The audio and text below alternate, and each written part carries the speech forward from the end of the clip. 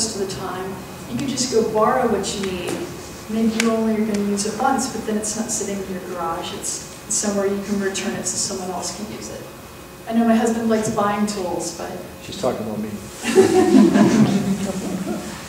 so, as I was writing this book, I kept thinking, what the private sector can do so much, but what do we need government to do? What will only government do to make these green jobs happen? And it seemed to me there were really three vital roles. One is setting goals. And I'm so proud to be in California where we have set ambitious greenhouse gas reduction goals through AB 32 and subsequent legislation. So setting goals, developing ordinances like the city of Portland did for the deconstruction ordinance, but most importantly, where's the funding going to come from to create some of these green jobs? And that's where government can step in and say, you know, private business, it's great that you're internalizing profits and externalizing costs, but you know what? Externalizing those costs in society is hurting the environment or it's hurting people. So we want to discourage that behavior and we're going to levy an externality fee on the thing you're doing, like burning 10,000 tons a year of fossil fuels that are causing climate change. So we created cap and trade in California. Um, we have an externality fee on plastic bags. Uh, we created bottle bill deposits years ago that has increased the recycling rates in, in states with bottle bill deposits. So I'd like to see more of this to help fund some of these, particularly government sector jobs um, that are doing the work that so desperately needs to happen. I want to leave you with one final thought. So this trip we took to Europe two years ago, we, um, we went to northern Spain to visit a friend of mine who I'd met my semester in Madrid in college. And Esther lives in this, in País Vasco region in the north, in this town called Vitoria-Gasteiz. And it's everything you hope a small city will be. It's got these cobblestone pedestrian-only streets with shops and restaurants where every night everybody comes out onto the street and sees their friends. Oh, how are you doing? How are the grandkids? And it's just such a lovely place. We had so much fun there with, with Esther and her husband and her daughters, the daughters. And at one point Esther said, Justine, we want to take you on a tour of the Gothic cathedral in our town. It's really the pride and joy of Vitoria-Gasteiz. It's called Santa Maria Cathedral. And so as we're walking through and admiring the Gothic arches and the stained glass windows, we learned that construction started in the year 1296 and construction finished for the first section of the cathedral in 1437. So think about it. It started 1296, finished in 1437.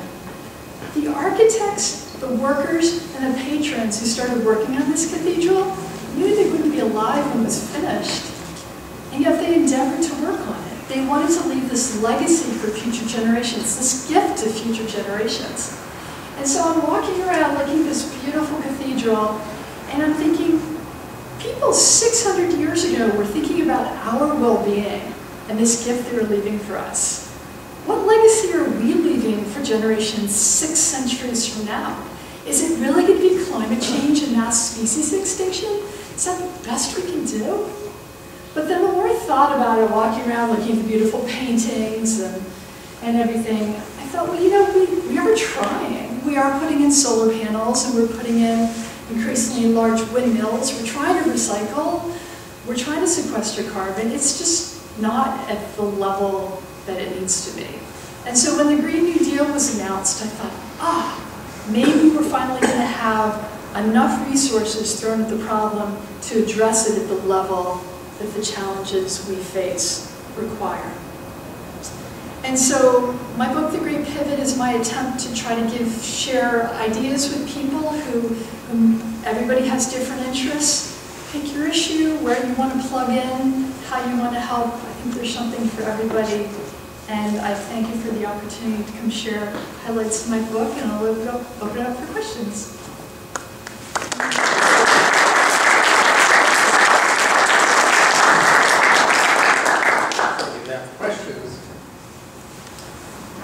Yes. Um, while you were talking, I, I, I'm personally, my life is dedicated to these issues. And, uh, but there's, there's a number of things that didn't get talked about, and it's not getting talked about. Um, Hemp building materials need to be developed because they don't burn. All of the, all of these rural interface areas need to have the hemp building materials, and we need that industry. Um, Can't, he can't hear you. Oh, you can't hear. Oh, sorry. Hemp building materials. Yeah. I wasn't. Don't burn. Um, uh, We need uh, new rules for these interface areas. It's not just PG&E, it's the way we're taking care of the land and the way we're building the things. Agreed. Uh, So, uh, water harvesting to, to, and, and, and soil biologists to, to make sure that that biology in the soil is healthy. Um, uh, And we need them in every city, every government, and, and all developers all. Um, The um, urban wildlife the habitats, we need, we need to have those. And we need garden cities. And we need, like Singapore. So these are, these are the kinds of things that I work on. And I just wanted to share them with all of you. Thank you so much for helping me make the point that this list is by no means exhaustive. Yes. Not even close. I'm just trying to get people to start thinking, well, what else is missing? What else do we want to find funding for? So thank you for bringing that up. The wildfires, I think, are top of mind for everyone, and there are 650,000 homes in California at the wildland-urban interface that maybe shouldn't even be there, and if they're going to be there, they need to be fireproof, so. Yeah, I- and the That media its is, own is one whole area. the media is just not getting it. I mean, all they do is blame PG&E and it's just, it's our fault. It's too facile, definitely, definitely. So there's a lot of, the transition needs to include those, so thank you for bringing that up. Yeah. I was curious about in Oregon, the uh, decon- deconstruction of the houses. Why would they have stopped at, you know, 20, 1916 or whatever? Why not just say that all homes need deconstructed? Was there something about newer homes that, did you, I mean, I don't know if you. Really good question, why 1916, why not all homes? Um, They just moved it up to the 1940s, There- it's either 1940 or 1945, they moved the data.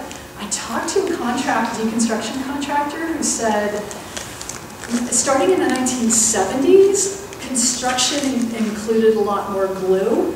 Like, they, construction firms started gluing a lot of pieces together, so trying to deconstruct and get pieces back apart so that you can recycle them is a lot harder starting in the 70s. So Portland did move it to 1940s, and why not all? I guess it was just somewhere to start because almost everything is wood back then or valuable metals, so, yeah. You can talk to Sean Wood, who heads the program in Portland. So that's kind of one of my biggest things is the whole like end of life looking at things. So it's like for everything, you know, you mentioned the, the, the cycle um, uh, for manufacturing and that China doesn't want any of our, our plastic anymore. But like when you look at how much plastic is actually produced in China, if we could just send them back all of the plastic, then we'd probably be like pretty darn good on plastic. Because like see how much stuff comes from China. Or stop buying Oh, more stuff. Well, but, but if we, I don't know, I'm all about like upfront, like costs, like you should be paying for the cost to the end of life of the products. That way you can make a decision as a consumer. Do I want to buy this product? It's really poorly manufactured, the end of life cost is very high, therefore, you know, I spend more money for it upfront. But, so yeah, I I enjoyed all of it. I just hope that people will get on board with end of life costs That's, a good point, because like if you go to Costco, all the produce is in those plastic wrap. you know, everybody wants perfect apples, so they want them all individual and not touching each other so they don't get bruised. Maybe there should be a fee to make it more expensive to buy those, so you'd be less incentivized to buy, even though it's mass, you get 20 apples for a lot cheaper than if you go to their produce place. You're paying for all that plastic, but then ends up, you can't reuse those things, So, right? so Cal EPA is doing a lot with that, like bed mattresses, for instance, like they're rolling in, there's a fee up front when you buy your mattress that's used for recycling the mattresses, paints. The EPA, Cal EPA has gotten on board with that, and so pretty much like all products have that sort of design approach in the price, because, you know, we have a system where it's a capitalistic system, so it's like we have our money, and that's the, if we were actually paying for the true cost of the Right, product the true price. the true cost, and then people would make more educated decisions. Then maybe the apples in bulk would be cheaper than these apples in Correct, this plastic. exactly. That's You know, right. then maybe the straw wouldn't be relatively free. Exactly. People would be like, oh, I don't want the straw, it's eighty-five cents for Yeah. that thing because it's gonna cost that much to recycle. Just, just And it, it makes a big difference to shop at farmers markets. I mean, just so the Oh. money goes directly to the farmers as opposed to through Costco. Costco's a great company, but um, farmers don't get paid as much. Justine, doesn't um, Germany have a, a program where every manufacturer has to take back their product when it's life cycle over? They do the, the Green Dot program, and they hire a third, third party to, to do the materials. But waste prevention would be, yeah. So you had a comment or question, and then. I'm just wondering, what- what is reverse catering? Reverse catering, thank you. Yeah, sure. There's so many stories I wanted to tell you all, but The book. So reverse catering, there's a nonprofit in San Francisco called Replate, and they charge forty dollars a pickup. If Salesforce has a big conference um, with a catered lunch and they have three hundred pounds of couscous salad left over, they'll go on their app for Replate and say, we have ten trays of food, please come pick it up, here's forty dollars. And then Matt Stepanovich will drive over in his car and pick it up and drive it to the homeless shelter in Emeryville. So oftentimes, uh, companies expect free pickup. They think, I've got free food, somebody should come pick it up within the hour and take it off my hands for free. But by paying for it, just forty dollars, you're creating a job for someone. And so there are a, a lot of um, reverse catering nonprofits that, that will do it for free and rely on philanthropy, but a more direct way to do it to create jobs. Well, an associated People to fee with it might help them plan better the next time they do it to not have the waste. Exactly. That's, that's the next part of the evolution. So once you end up, oh, we've got 20 extra trays of food, maybe we should plan better next time. Really good point. You had a comment? Yes, I'm wondering, um, when you look at Europe compared to the United States and the list of things in the Green New Deal, do you see that there's more progress in some areas of the world than the United States? And if so, why do you think that is?